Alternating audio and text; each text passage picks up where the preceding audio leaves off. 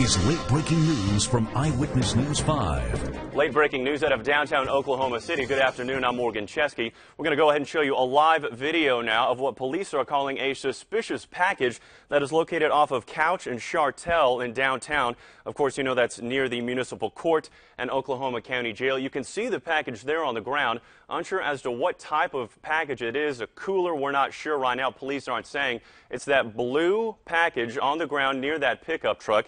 Now, Oklahoma Police Captain Dexter Nelson says that the bomb squad is en route to investigate that, and they will be keeping us posted with details as they become available. Again, that scene, bomb, uh, bomb squad is en route. They will be clearing off that area. If you do find yourself driving in the vicinity of, again, Couch and Shartel, keep an eye out for that and be safe. Of course, we'll have the very latest as it becomes available. And you can see a bomb tech moving in right now. We're going to come back here. And again, we'll have the latest on our website, KOCO.com, and coming up tonight at 5 on Eyewitness News 5. Until then, I'm Morgan Chesky. Stay tuned. This has been late breaking news from Eyewitness News 5.